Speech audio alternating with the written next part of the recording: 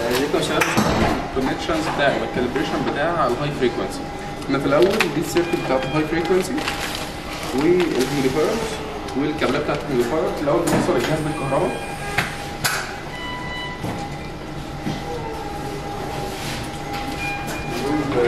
cables واحد خاص بالكابل high frequency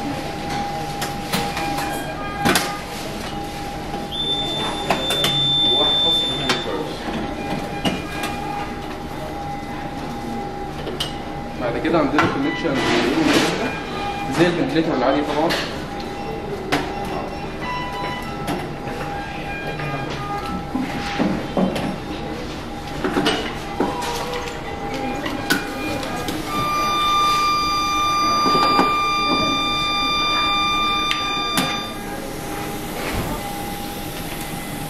ده connection الاكسجين واصل بالجهاز وده connection ال air برضو متوصل بالجهاز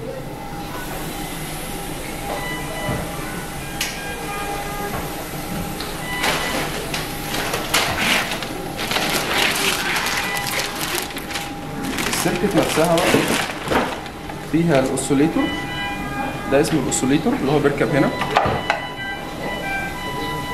دي ال connections اللي بتقفل على ال oscillator نفسه. دي بتفتح كده. دي تتشال خالص. دي just protector بس للبيستون اللي هو اللي بي- الخاص بال oscillation دي بتتحط هنا. لما بنيجي نركبها تبقى بتأكد إن ال lock في كل من ال connections بتاعتها في واحدة هي ال curve دي لازم أخليها أتأكد إن هي قصاد ال lock بتاعها ولازم كلهم يقفلوا عليها. فهنقفل دي كده. دي نفس الفكرة دي بتلف برضه كده. دي كده. دي كده. طيب. دي إيه؟ دي water trap دي خاصة بالجهاز. لو إحنا بن compare ده بال circuits العادية بتاعت ال ventilator circuit ال ventilator بيبقى فيها ال humidifier اللي إحنا هنركبه دلوقتي. وبيبقى فيها cup اللي هي اللي بتجمع ال water trap دي تعتبر ال water trap بتاعت circuit high frequency دي معمولة كده عشان ما ينفعش أعمل interruption لل circuit نفسها فما ينفعش change ال pressure جوه. تمام؟ فدي بتوصل هنا. لازم أتأكد إن دي من تحت locked دي سيوي عادية جدا. لو هي كده هي مفتوحة فهتنزل المية متجمعة هنا. هي ليها فتحة من فوق وفتحة من تحت. فلازم أتأكد إن دي locked من فوق ومن تحت. فيستحسن إن أنا هو حتى لو أنا شايف ان هي مقفولة أحط لها cover 3 way فحتى عشان تمنع ال leak في ال circuit عشان الجهاز يعدي ال calibration مهم جدا ما يكونش فيه أي leak في ال connections تمام؟ فلازم اتاكد إن دي مقفولة ودي برضو مقفولة. طيب. الجهاز نفسه ال circuit العادية فيها الوصلتين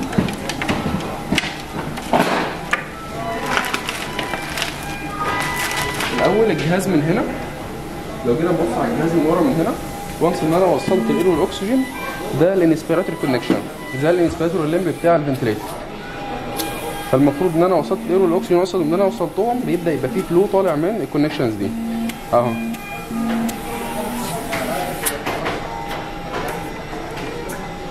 تمام؟ طيب.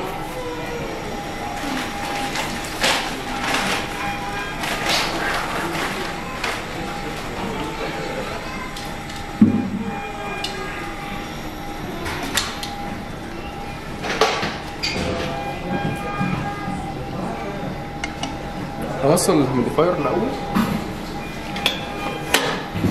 اللي هو هيخش فيه connection ما بين ال inspiratory لل humidifier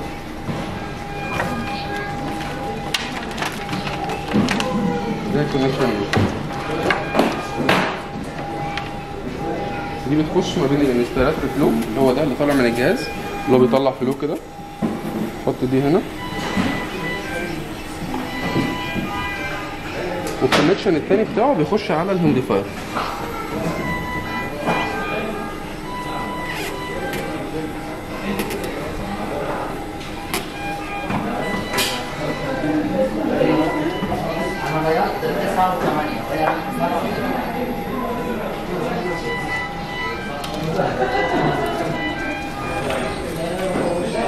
ال circuit نفسها بتيجي لو ال circuit دي طبعا ال circuits دي آه، بتعقم ينفع تتعقم بلازما فلو ال circuit جديده مش هيبقى فيها ال connections ال caps دي. إحنا عشان ال circuit دي متعقمه قبل كده فهنلاقي ال connection ال caps دي already واصلة فيها.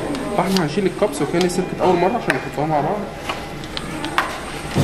وهنقول دلوقتي ال caps دي وظيفتها إيه وبتعمل إيه بالظبط. فلو ال circuit جاي عادي جدا أول مرة هتيجي كده. ده الجزء ده بيكون جاي لوحده اللي هو بتاع يعني هنشبهه بال inspiratory و expiratory flow. وطبعا من هنا ما فيش inspiratory expiratory هو كله continuous flow لو زي ما شفنا قبل كده في المحاضرة بتاعة ال high frequency تمام؟ فدي الوصلة بتاعة ال inflow وال outflow تمام؟ تيجي كده وبتيجي من غير ال caps ولا ال connections دي. هنقول دلوقتي تعمل إيه. فببدأ أحط الوصلة دي نفسها. تركب هنا.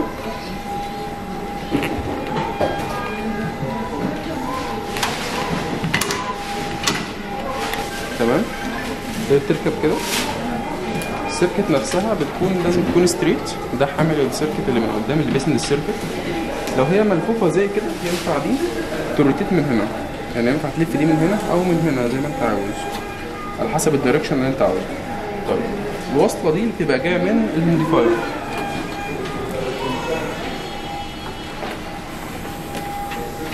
تمام؟ فأنا عندي كده inflow جاي من الجهاز نفسه لل humidifier و outflow من ال humidifier لل circuit على نفسها. طيب نيجي بعد كده لل circuit من هنا. دي واصله لو أنا جيت على ال device الجهاز نفسه من هنا وجبت الحاجات دي جبت ال ال ال الألوان دي اللي هو الأخضر والأحمر والأبيض والأزرق دي pressures اللي هو ال control أو ال dump أو ال airway pressure أو ال limit دي حاجات كلها بتقيس ال pressure جوه ال circuit ودي بتديني ال reading على الجهاز اللي هنشوفها دلوقتي لما نيجي نشغل الجهاز. طيب أنا دلوقتي هوصل إيه؟ كل حاجة ال color بتاعها زيها. فدي وصلة ال circuit نفسها دي البيضة دي تبقى ال airway pressure بوصل دي كده؟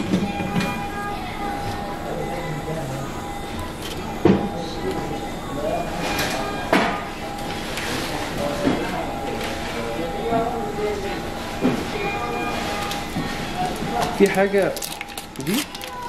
الجزء الأبيض ده الأخضر ده. دي حاجة اسمها stopper دي اللي بتحطها في جوه ال circuit من قدام عشان لما نيجي نعمل calibration للجهاز فاحنا هنحطها بس عشان ما تبقاش ال circuit exposed ومفتوح عشان لو سيبناها كده ما تبقاش في حاجة مفتوحة على الأرض. زي ما قلنا الكابلات دي زي ما كنا بنقول دلوقتي لسه وال caps وظيفتها إن هي بتقيس ال direct pressures وال flow من airway pressure جوه ال circuit نفسها ال accurate اللي هيجي على الشاشات دي زي ما هنشوف دلوقتي. كل واحدة من ال lines والكابلات دي ليها ال color بتاعها. فانا هوصل الأخضر الأخضر بيوصل في الأخضر الأزرق في الأزرق والأحمر نفس الفكرة. كل حاجة في ال color بتاعها.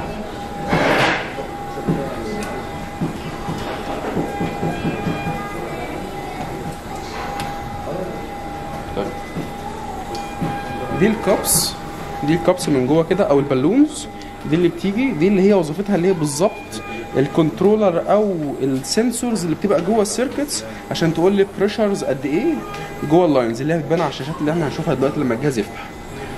اللي هي دي. فكل واحدة بتركب في المكان المخصوصه دي. هم كلهم نفس ال size مفيش فرق في ال size بتاعهم. فكلهم عادي بيركبوا يعني أنا لو بدلت دي مكان دي أو دي مكان دي مفيش فيها أي مشكلة. بس أهم حاجة ال sensor بتاعها يبقى فيها. فدي القريبة من الأزرق تبقى في الأزرق. والأخضر اللي هي الأولانية. تبقى في الأخضر. والأحمر دي هتبقى هنا. طيب ناقص لي إيه؟ ناقص لي التمبريتشر أو السنسور بتاع التمبريتشر بتاع الموديفاير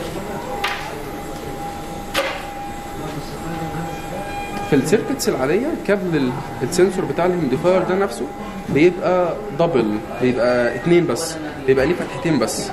آه إنما في ال sensor بتاع ال high frequency في ال circuit نفسها لو جينا للفتحة بتاعت ال inspiratory اللي طالعة من ال humidifier دي وبصينا من هنا كده هلاقي ال sensor ده triple يعني لو أنا بقارن ده بال sensor العادي أو بالكابل العادي هيبقى ده ثلاثة فيه ثلاث فتحات أما التاني ال sensor بس double فما ينفعش أي كابل يركب عليه.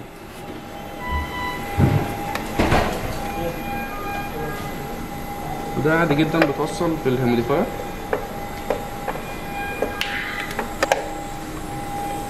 ده برضو من هنا زي ال circuit العادية الكابل الأزرق اللي هو ال temperature sensor نفسه بقى اللي بيبقى واصل لل circuit بيركب عادي جدا.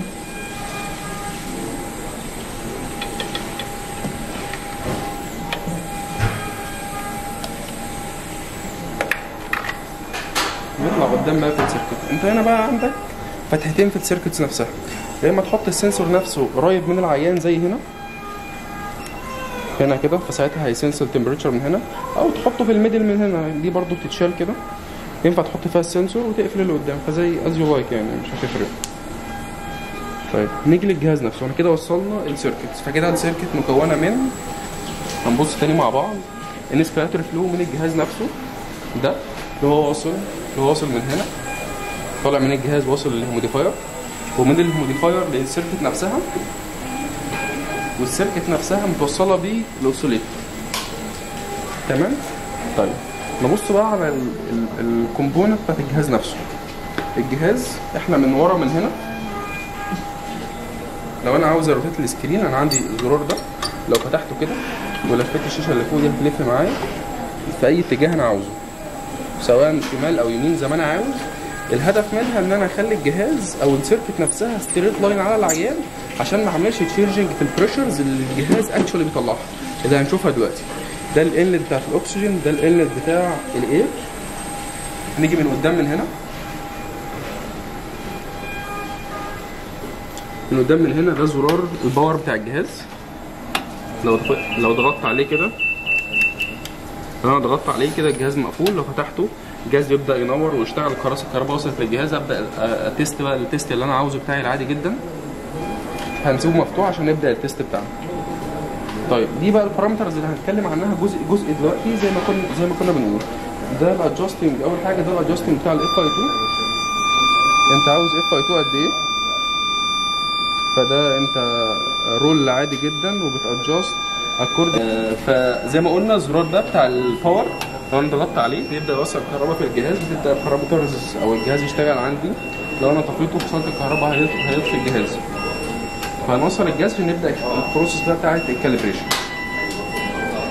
لو أنا جيت هنا عشان ما بقاش يعني تايه. أنا مش عارف أنا هعمل إيه لما أجي أبدأ ال calibrations هو الجهاز نفسه عليه زي sticker كده بال steps اللي أنت هتعملها علشان تبدأ ال calibration بتاعك. يعني انت مش محتاج تحفظ انت هتعمل إيه انت محتاج بس check ال parameters اللي مكتوبة أو الحاجات ال steps اللي مكتوبة اللي انت تعملها عشان تبقى الجهاز fit إن هو يشتغل على العيان. فلو إحنا بنقرا مع بعض كده كأننا مش عارفين أي حاجة هو بيقول لك important before use uh, on patients. Each patient circuits must be calibrated to the model اللي هو الموديل بتاع الجهاز يعني. Following these procedures. يعني قبل ما توصل أي حاجة على العيان الجهاز نفسه على العيان لازم ت calibrate ال circuit through these steps. أول حاجة بيقول لك insert stopper in the patient circuit اللي هي ال Y اللي إحنا كنا بنقول عليها دلوقتي اللي هي ال stopper الخضراء اللي قدام دي. ممكن نبص عليها. اللي هي دي. بيقول لك في الأول insert stopper عشان يقدر ي measure accurate pressure جوه ال circuit فدي ال stopper اللي هي هتوقف ال flow بتاع الجهاز. فدي أول خطوة. يبقى أنت أول حاجة هت insert ال stopper تاني حاجة rotate ال mean pressure limit and adjust control to the maximum ده الجزء بتاع ال mean pressures ده لازم ت adjust ال mean pressure بتاعك لل maximum. إحنا شايفين هنا ده زرار وده زرار بي control وهنا بيقول لي ال minimum وهنا بيقول لي ال maximum. فأنا هخلي ده على ال maximum. وهخلي ده على ال maximum. يبقى أنا أول حاجة وصلت ال stopper في ال circuit. بعد كده خليت ال mean pressure بتاعي على ال maximum. فده على ال max ده على ال max. طيب. نرجع نشوف ثالث خطوة مع بعض. Adjust uh, trace flow to 20 liter per minute. ده ال flow ال flow بتاع ال air liter per minute اللي طالع للعيان. فبيقول لك adjust ال flow بتاعك ده على 20 liter per minute ال flow ده ينفع أغيره 30 40 50 60 زي ما أنا عاوز. فأنا بنزل ب adjust ال flow بتاعي. و actually ده ال starting ال start settings ده هنقول دلوقتي ال setting اللي هنبدأ عليها على العيان بالظبط تبقى عاملة إزاي. فبخلي ال flow بتاعي على 20 liter per minute يبقى ده ال flow وده ال mean pressure أول حاجة بخلي ال flow على 20 بخلي ال mean pressure على ال maximum وبوصل ال stopper في ال circuit من قدام. تمام؟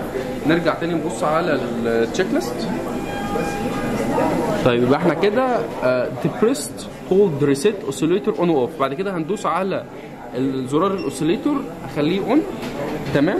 بعد كده ال point الخامسة observe ال mean pressure عشان دي آخر خطوة اللي أنا هعملها هي الخطوة الرابعة دي إن أنا هدوس على زرار ال on بتاع ال oscillator.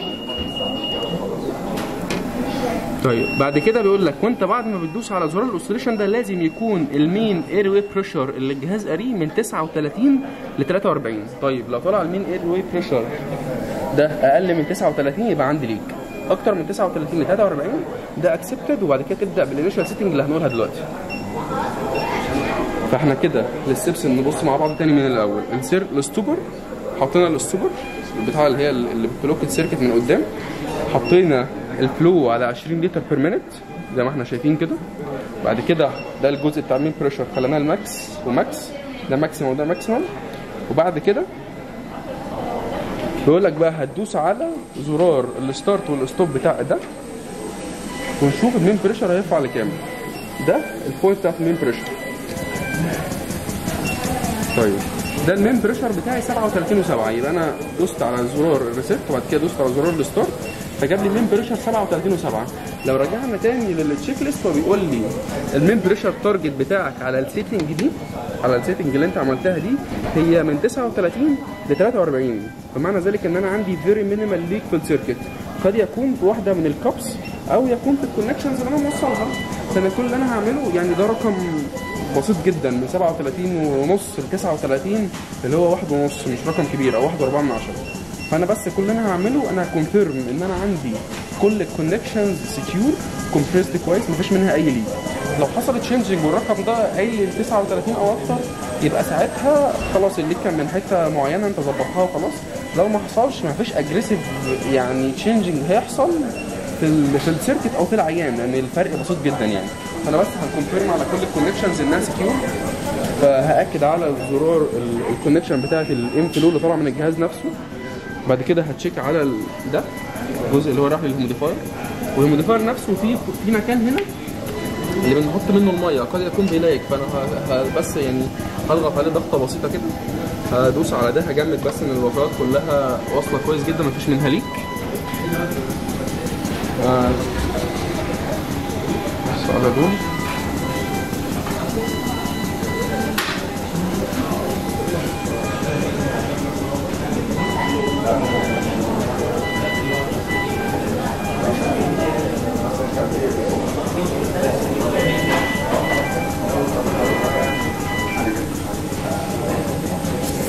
أكتر مكان بيبقى مدي leak في ال circuit هي ال caps دي ال balloons دي. لو جبنا لو جينا نبص على ال balloons دي من جوه من هنا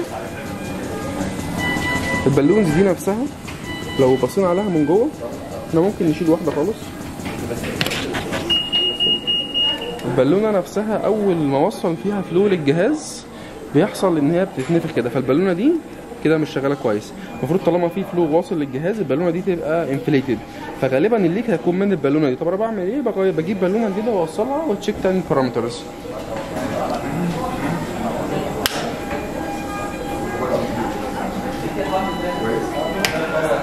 شايفين؟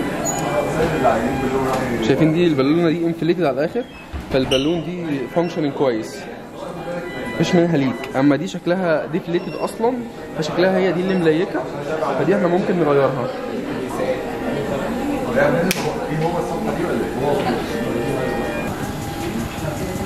إحنا زي ما قلنا هي main المشكلة بتبقى في ال caps إحنا دلوقتي كان بعد ما فتحنا كانت هنا دي كان قاري mean pressure 11 12 فدلوقتي بعد ما غيرنا حطينا cap ثانية جديدة قاري 32 فغالبا هي المشكلة بس بتبقى في ال caps mostly يعني. أو إن ال water trap نفسها اللي إحنا كنا بنقول عليها في أول الفيديو اللي هي اللي تحت دي يا إما دي مفتوحة أو دي مفتوحة أو في منها leak من أي جزء منها. إحنا اتأكدنا مفيش أي leak من هنا بس هو ال leak مشكلة في ال cap عشان في مشكلة في ال caps مش عايزين نفتح بس caps جديدة. فهي mostly بتبقى مشكلة إن أنا change ال caps دي نفسها. البلالين اللي إحنا كنا بنشوفها أو ال balloons اللي كنا بنشوفها دي دلوقتي. تمام؟ طيب. الجهاز نفسه أنا خلاص كده هو الجهاز عملت ال calibration circuit أو ال calibration procedure اللي هي الاجابه اللي إحنا كنا بنقول عليها دلوقتي دي. فعديت كل ال steps بتاعتها والجهاز عدى واداني ال accurate mean pressures أو mostly nearby يعني ال mean pressure ال target اللي أنا عاوزه. هبدأ بعد كده أحط ال initial settings اللي أنا المفروض إن أنا أحط عليها العيان. طيب أنا mostly من ال initial settings على الجهاز هنبدا بيها. بعد ما عملنا calibration لل circuit زي ما شفنا مع بعض من شوية المفروض بقى نبدأ ن set up ال initial setting أول حاجة إحنا هنبدا بال mean airway pressure mean airway pressure أنا عندي اللي هو بيبقى ظاهر لي يعني ده المكان اللي بعمل منه ال set up وده المكان اللي بيظهر منه الرقم بتاع ال mean airway pressure ال initial mean airway pressure بيبقى accordingly الآخر airway pressure آخر mean airway pressure على ال conventional ventilator فإحنا بنزود أربعة على آخر آخر mean airway pressure فلو هنفترض إن ال airway pressure الأخير كان 16 فهبدا ب initial mean airway pressure 20 فابدا adjust من هنا. adjust من هنا ويبدأ ينزل معايا الرقم أهو. كان 9 كان 39 بقى 31 أبدأ أنزل بالراحة. بقى 25 كده ال mean airway pressure بتاعي 20 فكده أنا بدأت ب initial mean airway pressure 20 علشان كان آخر mean على ال conventional ventilator عندي 16 طيب بعد كده ببدأ بيه ا set up ال amplitude ده الجزء بتاع ال amplitude. ده الزرار اللي بعدل منه ال set up أنا عاوز أخلي الرقم ده كام؟ طيب الرقم ده بناء على إيه؟ بيبقى بناء على إن قد إيه بيحصل oscillation أنا بوصل ال high frequency على العيان بيبدأ يحصل oscillation لجسم العيان اللي هي الاهتزازات فالمكان بالظبط اللي بيبقى فيه ال oscillation بيبقى قد إيه؟ فأنا عندي المفروض ال target بتاعي لحد ال umbilicus فكل ما أزود ال ال delta P أو ال amplitude كل قوة ال oscillation ما تزيد. فأنا هنا targeted بايه targeted بيه ال oscillation لحد فين؟ فأبدأ أزود gradually لحد ما أوصل يعني كده بنزل. هبدا أزود gradually لحد ما أوصل reasonable oscillation تمام؟ طيب. كده؟ زي ما إحنا شايفين كده؟ ده الرقم بيعلى طيب. بعد كده عندي ال time inspiratory اللي هو اللي تحت ده على طول. كل حاجة بقى زرار تحتها. مفيش حاجة متعاكسه غير ال mean airway pressure أو ال mean pressure اللي هو ده اللي هو بيظهر على الشاشة هنا. طيب ال time inspiratory ببدأ ب initial time inspiratory 33 وده ال ideal time inspiratory على.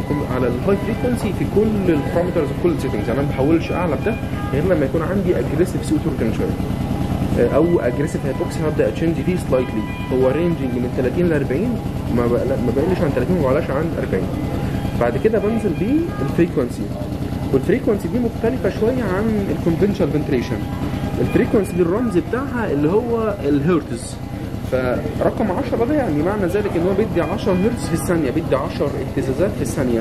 فمعنى ذلك إن هو على بيدي 600 اوسيليشن في الدقيقة الواحدة لو أنا على frequency 10 فأنا ببدا initially ب frequency 10 ال depend على ال local guidelines بتاعت المكان. وال local protocols في بعض ال protocols بتقول لك إن أنت لازم تثبت ال frequency وتغير ال mean accordingly يعني انت بتثبت frequency وبت change ال mean airway pressure وال FiO2 وال delta P بتثبت frequency بعض ال protocols الثانية بتقول لك لا انت ينفع ت change في كله على حسب ال gases بتاعت العيان. فال depend على ال local protocol بتاع المكان اللي انت فيه. طيب يبقى أنا كده حطيت mean airway pressure أعلى من ال conventional 4 حطيت power أو amplitude أو delta P أي اي نسميه كلهم كلهم نفس الاسم يعني لحد ما أشوف reasonable oscillation أو على العيان لحد ال umbilicus حطيت time inspiratory 33 حطيت initial frequency 10 كل الحاجات دي initial settings تتغير بعد أول blood gas اللي بعملها للعيان اللي هي بعد 15 minute من initiating ال high frequency تمام؟ طيب يبقى إحنا كده دي شوية الزراير أو ال parameter اللي بنغيرها هنا. طيب أنا عندي الزرار ده اللي هو ال position بتاع ال oscillator لما ننزل للجهاز تحت من هنا فده اسمه position centering إن أنا بظبط بيه ال position بتاع ال oscillator بخليه neutral في النص. يعني لو أنا ببص على النقطة اللي فوق دي أنا ببص على النقطة اللي فوق دي المفروض تبقى centralized في النص. يعني في نص النقطة عند كده. فببدأ أنا أتحكم في الزرار ده زي ما أنا عاوز. لحد ما تبقى centralized في النص نص ال oscillation بالظبط.